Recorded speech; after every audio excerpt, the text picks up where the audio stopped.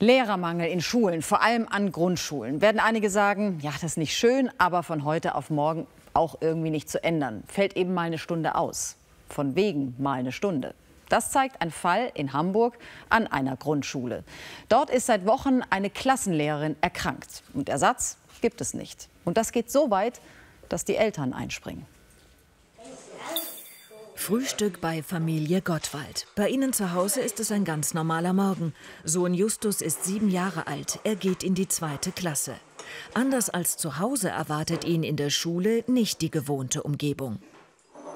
Es ist so, dass seit eigentlich jetzt seit kurz vor den Herbstferien die Klassenlehrerin fehlt, die drei Viertel, 85 Prozent der Stunden abgedeckt hat und der Unterricht praktisch aufgefangen werden muss von den Kolleginnen, die eigentlich aber gar nicht da sind, die wirklich. Die sind auch krank. Sind auch krank, ne? Ja.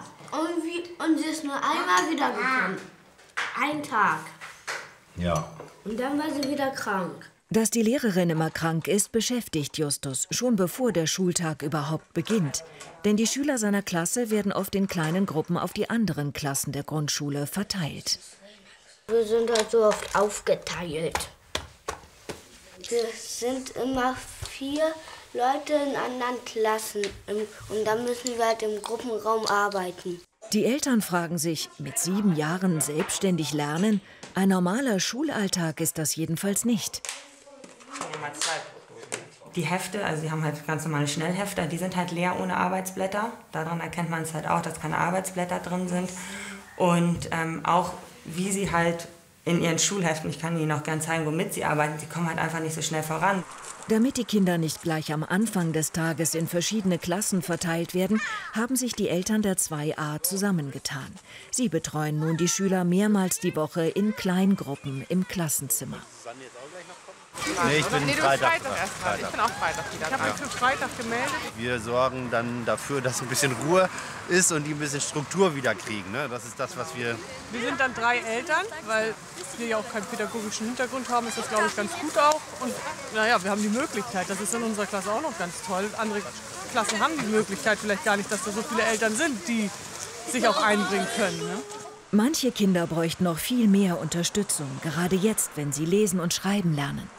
Das ist das Problem, glaube ich, dass vielleicht auch die, die schwächer sind, ein bisschen mehr auf der Strecke bleiben, als jetzt vielleicht die, die mittel und gut sind. Aber da können wir Eltern auch nichts machen. Ist auch nicht unsere Aufgabe. Wir wollen einfach nur da sein. Auch die Schulleitung versucht, die Lücken zu füllen. Doch die Anstrengungen, eine kontinuierliche Vertretung zu finden, waren bisher erfolglos. Sie verweist jetzt auf die Schulbehörde. Für die Eltern ist das nicht hinnehmbar wir kriegen ja immer von der Behörde oder das, was wir jetzt geschrieben haben, die Aussage, Entschuldigung, ähm, wir können nichts tun. Aber ganz ehrlich, wenn die nichts tun können, wer dann? Die Schulbehörde beantwortet erst kurz vor der Sendung unserer Anfrage. Sie sieht die Schule in der Pflicht. Es gäbe weitere Möglichkeiten, eine Vertretung zu finden. Auch Niklas ist in der 2a. In der ersten Klasse hat Schule noch richtig Spaß gemacht.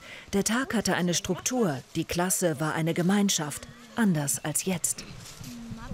Nachmittags kommt er dann manchmal oder mittags sehr schlecht gelaunt nach Hause. Gerade wenn er dann zum Schluss noch mal aufgeteilt war, dann ist da schon wirklich ein großer Frust und auch ein Großteil Aggressionen, die dann erstmal zu Hause abgebaut werden müssen. Und dann versuchen Eltern und Kinder zu Hause auch noch gemeinsam den verpassten Stoff nachzuholen.